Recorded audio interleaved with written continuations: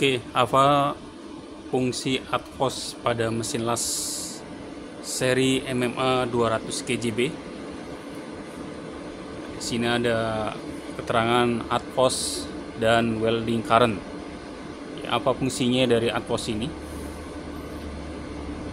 Apakah berpengaruh di pengelasan atau tidak? Mari kita lihat. Yang pertama, saya akan mengelas tanpa menggunakan adpos dan dengan menggunakan adpos kira-kira seperti apa hasilnya di pengelasan? Kita coba tes.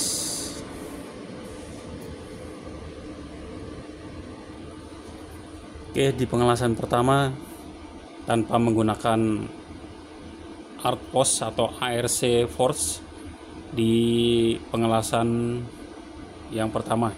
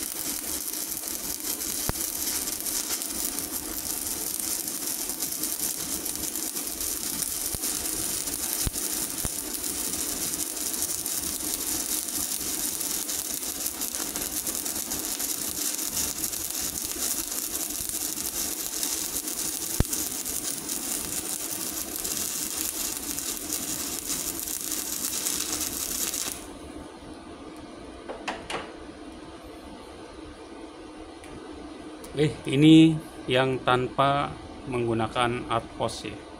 Nah, bagaimana yang menggunakan outpost? Kita lihat dulu hasilnya.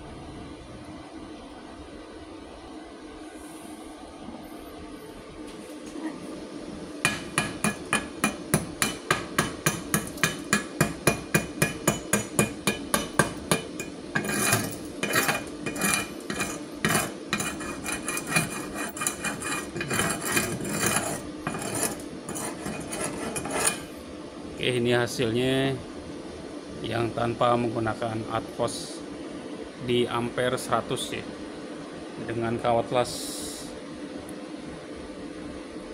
3,2 mili.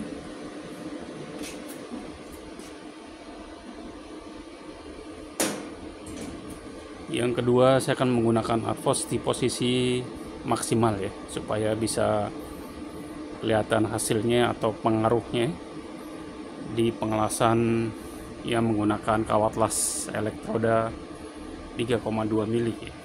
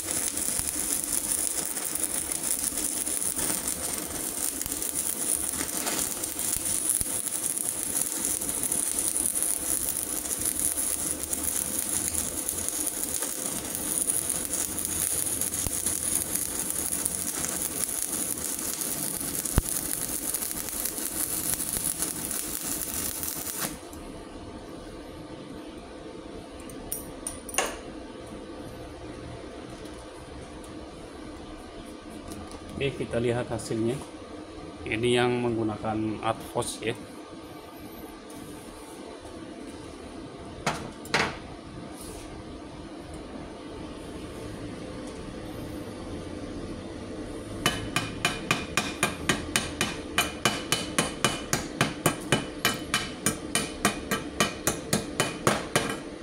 Jika dilihat ini sedikit melebar ya. Ini pengelasannya melebar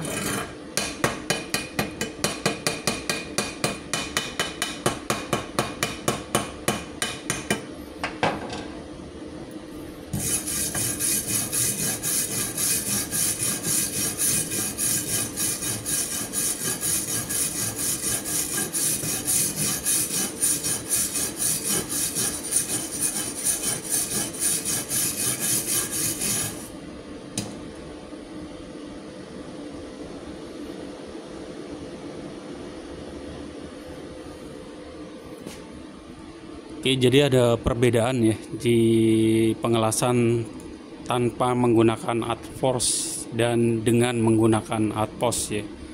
Jadi di hasil pengelasannya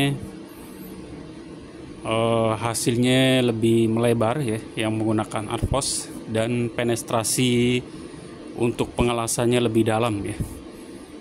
Jadi lebih lebar, lebih cair untuk cairan dari kawat lasnya itu lebih cair.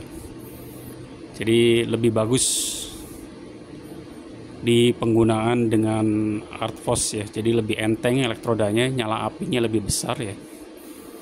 Jadi ini mesin las yang seri MMA 200 KJB ya, mesin las yang cukup murah. Dengan harga kisaran di 5 jutaan ya atau harga terendahnya di 4 jutaan ya